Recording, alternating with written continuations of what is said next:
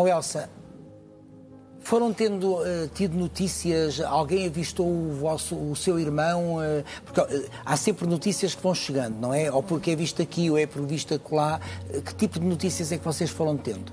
Várias. Havia, inclusive. Houve avistamentos dele? Houve até quem dissesse que esteve com ele no próprio dia e que, e que foi até Vila Nova de Mil Fontes com ele, de moto.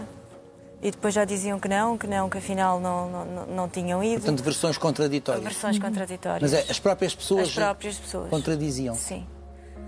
Um, os meus pais ficaram a seguir uma, uma pista até Espanha, que havia um rapaz que estava detido em Espanha, na fronteira.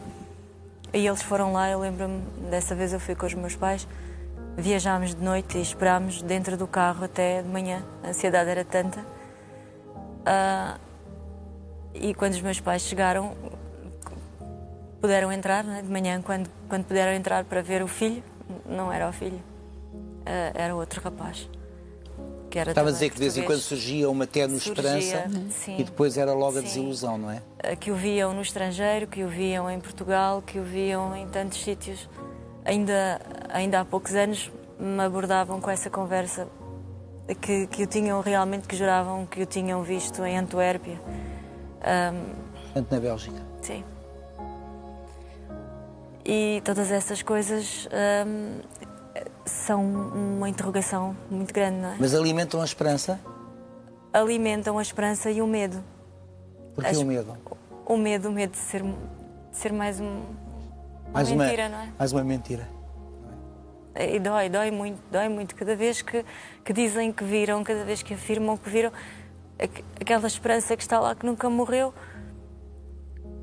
é sentida com mais força e ao mesmo tempo sabemos que não podemos ter tanta esperança que temos que ir devagarinho. Mas ao longo destes anos têm vivido com essa esperança de mesmo que venha a ser mentira, alguém dizer-vos eh, eu tenho uma pista, eu vi, isso é importante para alimentar a esperança? Isso nós temos, isso tem-nos acontecido ao longo dos anos. Um, não se preocupe, Elsa. Eu sei que isto é muito doloroso. Eu não sei se tenho esperança que alguém me diga que sabe o que aconteceu, não é? Que o viu. Porque isso muita gente diz. E já muita gente disse. Eu queria mesmo era que alguém dissesse o que aconteceu. Não interessa o que foi. Eu não consigo conceber. Não consigo conceber a imagem do meu irmão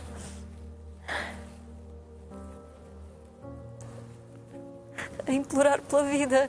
E eu não quero, eu não quero imaginar isso. Mas ainda que fosse isso, ao menos que nos dissessem, eu sei. Dizer eu vi é muito vago, porque tem sido 33 anos é de eu vi. E fica por aí.